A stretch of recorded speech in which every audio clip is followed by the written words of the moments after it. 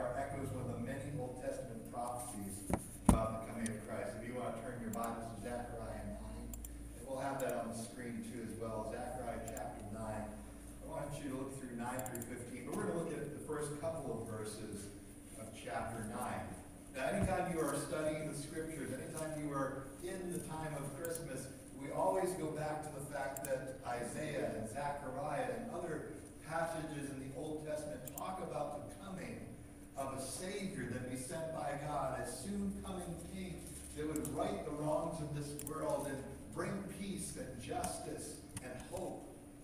And for the people of Israel who were in the middle of difficulties and trials and tribulations, they needed something to look forward to. Perhaps you can relate. Right now, you need something to look forward to. Many of us are looking forward to Christmas right now. In fact, some of us have probably even put out our Christmas decorations a little early and maybe put the Christmas music on a little earlier than usual. Why? Because we just want to look forward to something and get our minds off of the way things are right now.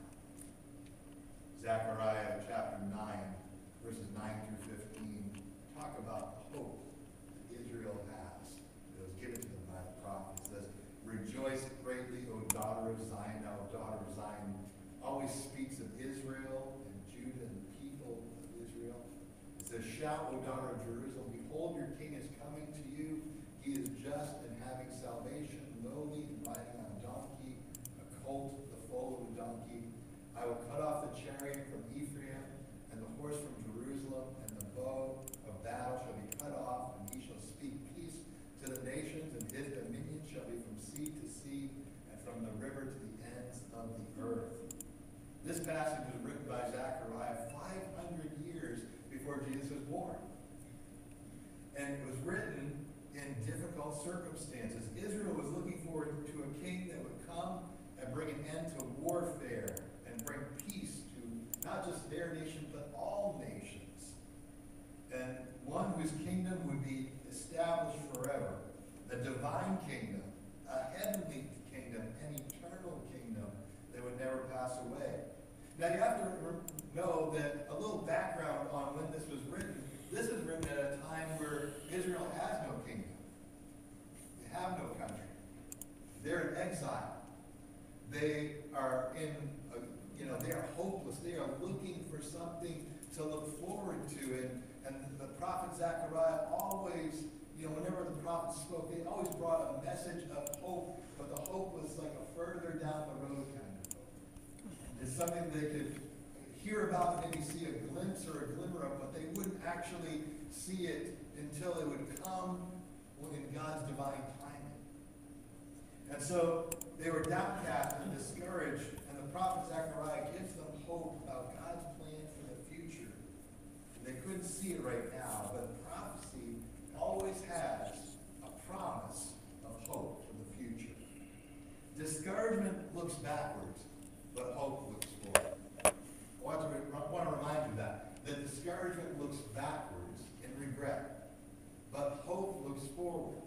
It's very easy to get stuck in this particular area of your life and to look back on things that you regret, things that you wish were different, the decisions that you wish you had made, that if you had them back, you would do differently. And we always kind of judge and compare ourselves to other people. But I will remind you that discouragement looks backward, but hope looks forward because hope has not yet been realized. Hope has potential. Hope has uh, a, a promise for the future that has yet to be realized.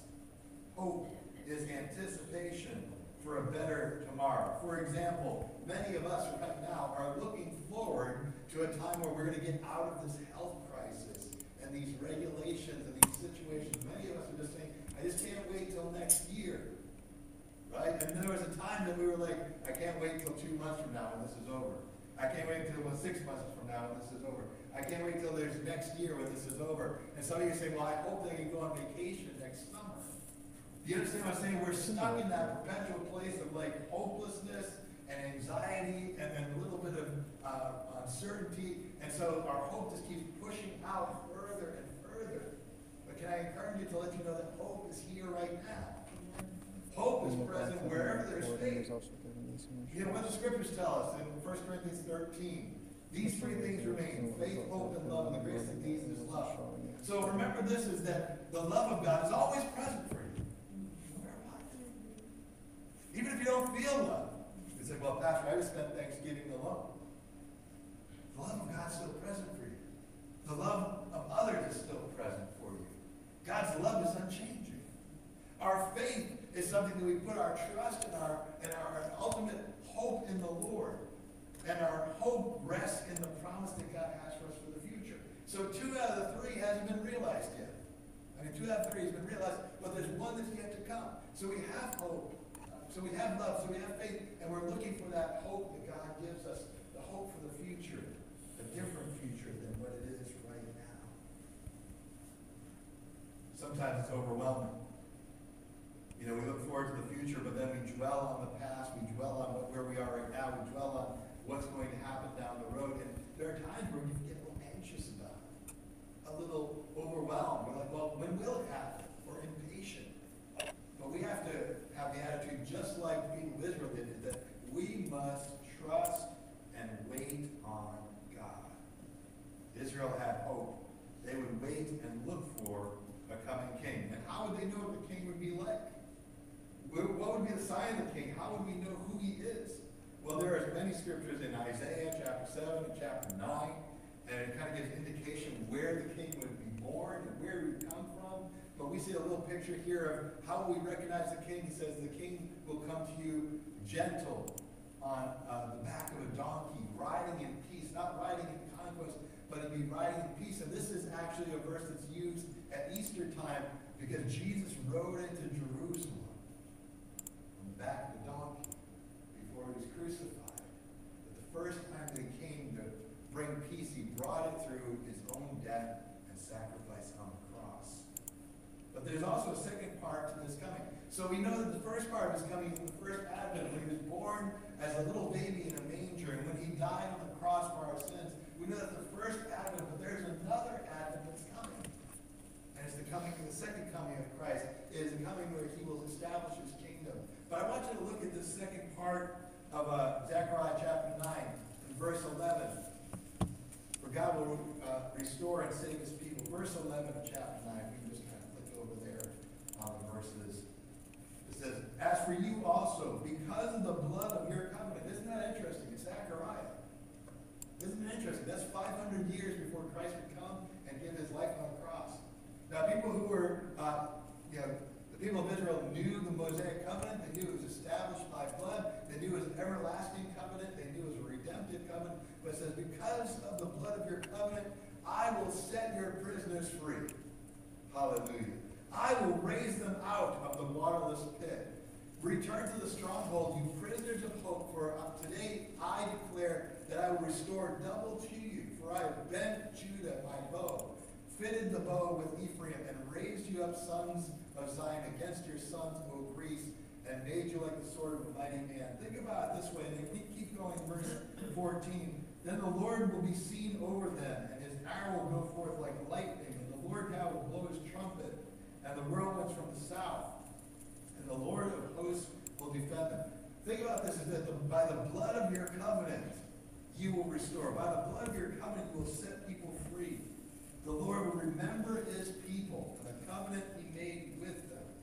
The imagery of the Lord as Savior and rescuer and vivid. It's not just that, oh, this is nice, that a little baby will come someday and he'll teach you some nice things when he grows to be a man. There'll be some you know, philosophies and things that you can apply to your life and maybe you'll live a good life and maybe you'll do good things in life. But no, this is more than that. This is the coming of a rescuer and the coming of a deliverer whose life and arrival would signal the dawning and the coming of the kingdom of God being made available to men.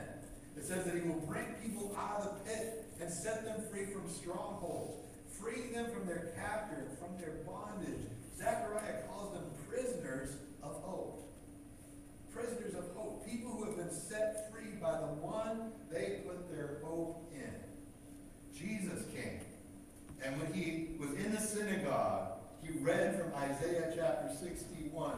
And that he said that his purpose was to set captives free and to proclaim the year of the Lord's favor. Jesus doesn't just set you free and then leaves you to defend yourself. You know, oftentimes when you see that, it's like, you know, that a deliverer will come and, and overthrow a governor, set people free, but then sometimes they're left to fend for themselves. But the promise of the Savior is not that he would come and set you free and say, good luck, you're on your own. But rather, he is come to set you free and to bring you to a place of hope, that you are a prisoner of hope, that you are a prisoner of sin and death and despair, but now you are a prisoner of hope. In other words, you are held together by hope, and that hope will not disappoint us, the scriptures tell us. And so he also makes a, a wonderful covenantal promise.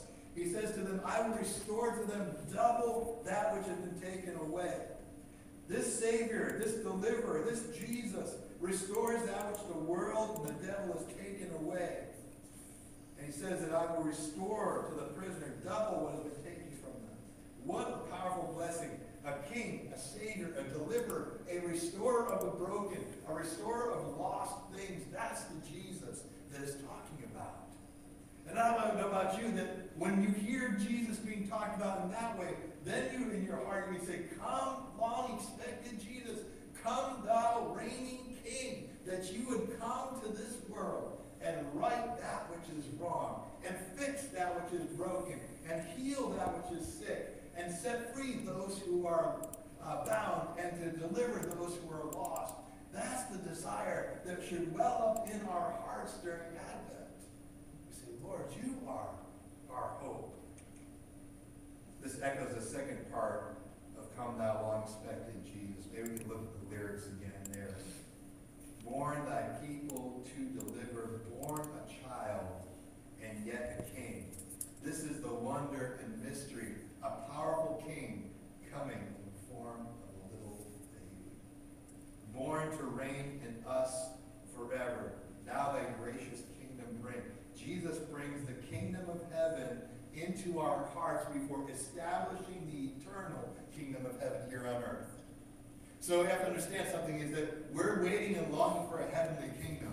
But do you know that the, heavenly kingdom is already within you? The kingdom of heaven is already here. Well, you say, well, Pastor, it certainly doesn't look like a heavenly kingdom. It certainly doesn't look like anything special to me. But the kingdom of heaven is in you that God brought salvation to, you. that everything that we will experience in the kingdom is already packed into and wrapped into the salvation of the Spirit we receive. So we're thinking about, it. well, I hope things get better. I hope things change. Do you understand today that you are a catalyst of change for the kingdom? Yeah. Because the kingdom of God dwells within you and he reigns with you. So much of us, we want the benefits of the kingdom, but none of the responsibilities. We want to, to be in the kingdom, but we don't want to be under the reign of the king.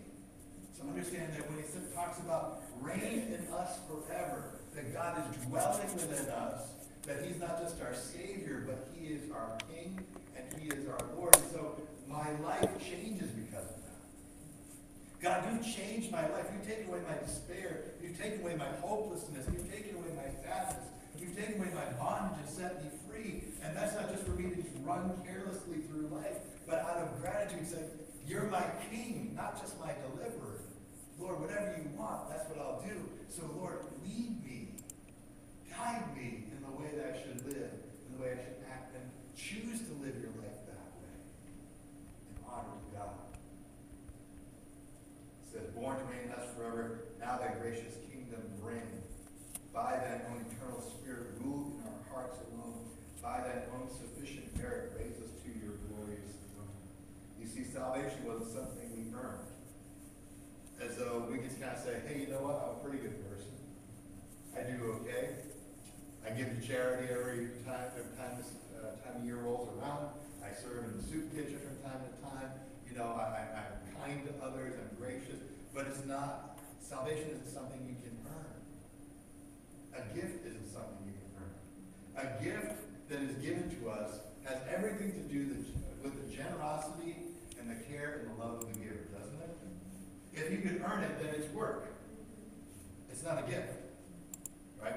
It's kind of like when you get, hear those things on the radio, it's like, you know, call now get your free gift. What that really means is call now get your name on the mailing list so you can send you stuff. And they might give you a cheap little gift.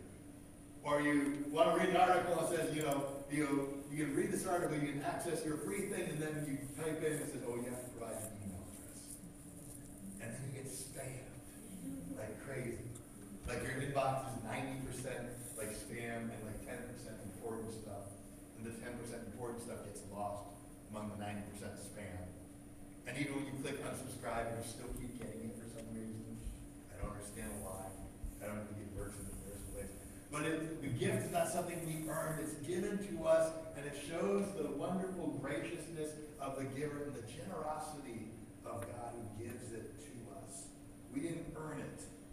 Ephesians two eight nine says it's by righteousness, his righteousness has been made available to us through faith. It's not something that we earn, but it's the free gift of God through faith in him. As Marshall writes about the section, the second half of the song details the subject that is coming, Jesus, as the source of strength, consolation, hope, desire, and joy. The verb from that part is a sign of that this is what is going on. The second of four lines switches graciously to the heavenlies. Vertical achievement of the coming, the fact and of the meaning of the coming of the kingdom with the birth of this child king. It focuses on what the Lord brings us with his coming. Jesus came to this earth as a little baby. He grew into a man and taught us the way of the Father. He gave his life as a sacrifice for our sins and was died, buried, and was raised on the third day. Now, through faith in him, we can have life eternal. And the greatest gift that was ever given to this world is the gift of salvation that is free through Jesus Christ. We're entering this Christmas season and Advent season. It's a season of anticipation. It seems like this year we're more ready for it than any other year before. We look forward to the Christmas season. We look forward to it because of the decorations and the lights. And we look forward to the giving and receiving of gifts. I know we're still doing that, right? But we say, okay, well, now we get to jump on the Christmas shopping. We get something early. I'm going to make sure it's wrapped because, you know, I have nothing else to do, so I'm going to make sure those are done and taken care of. And, you know, there's no recitals to go to. There's no concert to be at. There's no responsibilities. So, like, we just find ourselves, well, what am I going to do? I know Christmas. And so we focus on giving and receiving and gifts. We anticipate and look forward to getting together with family. It's a season of expectation and anticipation. Yet, if we aren't careful, we can completely forget about Jesus. You know, we grow up in church. Maybe you've gone to church for a long time, and it's like, you know, and sometimes Christmas is just mentioned on Christmas Sunday. Oh, it's Christmas, everybody. Let's be thankful for the Savior. Let's sing Christmas carols now. And then we forget about it after that. But so much hinges on Christmas. Divinity in flesh. God being among us. God dwelling among us. God growing from infancy into adulthood as a man. Understanding what it's like to be human. Understanding what it's like to live through this life with all of its joys and trials and pains. There's something about that that says God understands me because of what he went through for me. He's not a part of the celebration. He is the celebration. That's why we celebrate Advent. The word Advent means the coming or the arrival. And it's a good practice for us. It focuses our attention on the Lord throughout the entire month of December and even into January. Know that 12 Days of Christmas song? That goes into Three Kings Day on uh, January the 6th. And so you're like, well, what are, it's 12 days before? No, it's 12 days after. And it's looking into Epiphany. So depending on your church tradition, you know, it goes into January. And so this is a, a focus that's not just one day. This is not just a focus where we kind of think about after Thanksgiving. It's a focus all month long. Art mentioned these little devotionals that's one way that you can, uh, you know, practice it in your own life. Later on this week, I'll be sending out to you a daily Bible reading that you can kind of go through and just focus on the verses that have to do with the coming and the expectation of Jesus leading up to that. We also have some resources that are available to you not only on Right Now Media, there's great uh, videos like Lee Strobel has the case for Christmas.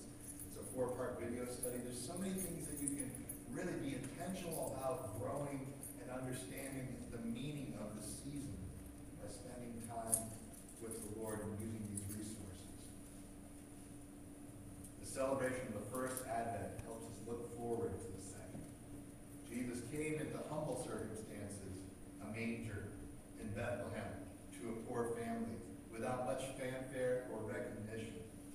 But when he comes again, he will come as a victorious king. And it won't be a few that see it. It will be everyone who sees him when he comes. He will come in victory. And we should look forward to that day. That this Christmas season where we focus on the first coming, we should focus our attention on the second coming as well. 2 Timothy 4 8, Paul is writing at the end of his life, and he said, On the day of judgment, God will award to him a crown of righteousness, not only to him, but to all who look forward to his appearing. My question is, right now, is with all the other things that are going on in the world, our focus and our attention on is what are we getting out of this? When will things be better? When will I have youth sports again? When will I be able to go on vacation? And we're looking forward to all those things. But are we looking at the signs of the world that we're living in today?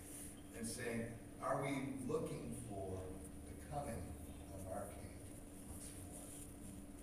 The one who will right every wrong, who will set captives free, who will make things right. Do you love his appearing, and do you long for it? We should put our hope in him and look forward to his coming again. As the worship team comes, I want to ask you today, where are you putting your hope? Who are you putting your hope in? You know, John the Baptist was a cousin of Jesus. And when Jesus appeared on the scene while John was baptizing, he said, Behold the Lamb of God who takes away the sins of the world. But then John was arrested and put in jail. And when things weren't good, that's when John said, you know, he sent his disciples to Jesus and said, Are you the one or should we be looking for another? Why? Because John didn't understand. John thought, you know, when the Lamb of God comes, when the promised deliverer comes, you know, charity's going to be done away with, and, and, and sin and wickedness will be undone. And yet, here I am in prison, under lock and key with King Herod here. And so, when we go through difficulty, when we go through challenges, we find that our hope wavers. And here's John the Baptist who definitively and confidently said, you know, behold the Lamb of God takes away the sins of the world. He goes, they sending disciples privately, are you really the one? Sometimes when things don't go the way that we expect them to, the way that we hope for them to, we often find ourselves second guessing the one we put our hope in. Can I challenge you today to put your hope in the Savior? To put your hope in Jesus, especially at a time where everything else seems to be letting us down, whether it be the, the political system that we're in, or whether it's our family members that are letting us down, or things that aren't working out at our job, and all these things are disappointing us and falling short of our expectations. Can I challenge you today to put your hope in the right place? We're putting our hope in everything else, but are we looking forward to the one who is our hope, who is the one who actually brings? Put your hope in the Lord today. I encourage you to look beyond the stress and mess you're currently in. Put your hope in the Lord. Can we just bow our heads for a moment? No one looking around. This morning, maybe you're in need of hope. Maybe things are bad right now and you feel like there's nothing that's going to change anytime soon. And the despair kind of wants to wash over you. In fact, you might find yourself in that at night there are times if you think about and dwell on the things that you have to do, or the things that you're going through, or the responsibilities on your shoulder, that you get overwhelmed by it all. And you feel like things are closing in. Or maybe you've got your hopes set on next year, 2021. That will be better. But we're putting our hope in an expectation that could disappoint us yet once more, and maybe our heart can't handle that. This morning, if you're in need of hope today, I want you to know that Jesus is the hope that, un, that is unwavering and unchanging no matter what. This morning, if you're in need of hope today, you say, Pastor, pray for me. I need hope. I feel I'm feeling hopeless. I'm feeling overwhelmed on every side. I have much to do, but it seems like nothing is getting done, and I just need the Lord's help. I need to trust Him my hope Him. That's where you're at today. Will you simply raise your hand right now and let me know? I will pray for you right now. Remember me. Thank you. Anyone else? Pastor, I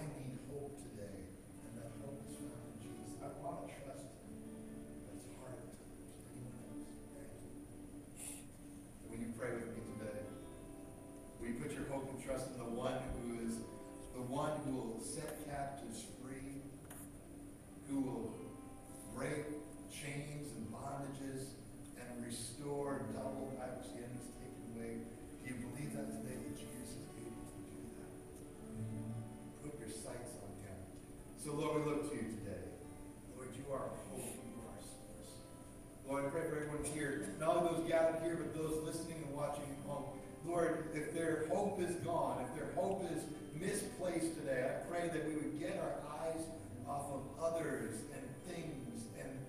wealth and circumstance and we put our eyes on you. Lord, who is unchanging.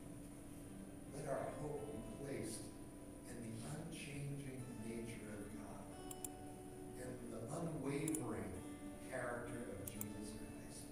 I pray today that this Christmas season, that, Lord, for each person that's feeling hopeless, I pray today that you be their source.